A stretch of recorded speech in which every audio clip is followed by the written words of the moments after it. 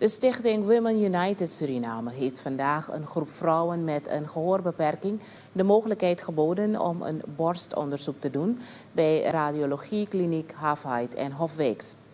Het initiatief is in het kader van Oktober Borstkankermaand.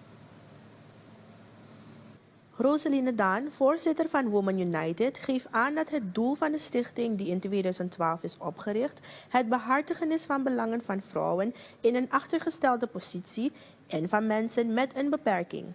Radioloog Ben Hafait zegt nog geen cijfers te kunnen geven over het voorkomen van borstkanker in Suriname.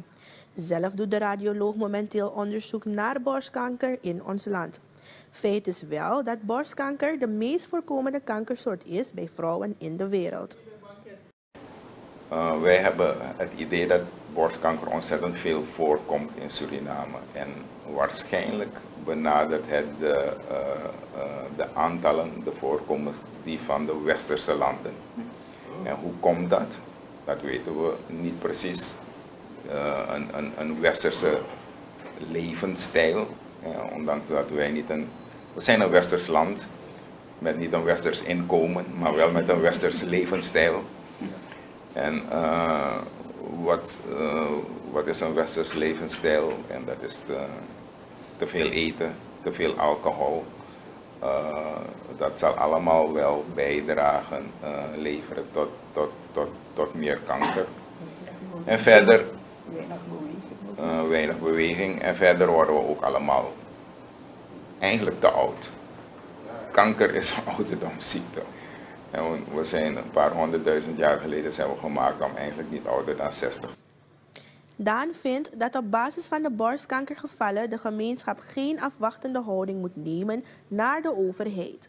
In het verlengde daarvan roept Daan alle organisaties op die een bijdrage aan de bewustwording kunnen leveren om nu actie te ondernemen we kennen Pinkrib en we weten dat een heleboel wordt en is gedaan, ook in het verleden. Heel goede job. Maar er zijn ook andere organisaties um, die een bijdrage kunnen leveren. Feesten is één, dat is leuk. Ontspanning is nodig. Maar je kan niet feesten als je een slechte gezondheid hebt. Dus um, mensen moeten proberen om dat aan elkaar te koppelen. Um, het aan één te regelen, zodat we een mooie keten hebben want ook gezonde mensen hebben inderdaad in deze samenleving.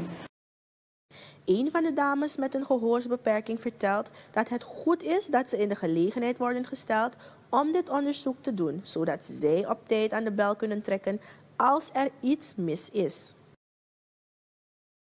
Ja, ik ken wel één persoon die uh, ooit een probleem heeft gehad met de borsten, maar ze kwamen eigenlijk nooit voor een onderzoek. Nu zijn we met een groepje en we komen al een paar keren met een groepje hier voor een onderzoek. Dat vind ik heel goed. Omdat doven eigenlijk heel weinig weten, heel weinig informatie krijgen. Dus het is goed dat we met een groepje hier zijn om dit te doen. En dan weten doven dan dat ze dan in, de, in het vervolg ook altijd moeten komen, zeer belangrijk. De stichting Women United Suriname zal morgen mensen met een visuele beperking begeleiden naar de radiokliniek Hafheid en Hofwijks, zodat ook zij een borstonderzoek kunnen doen.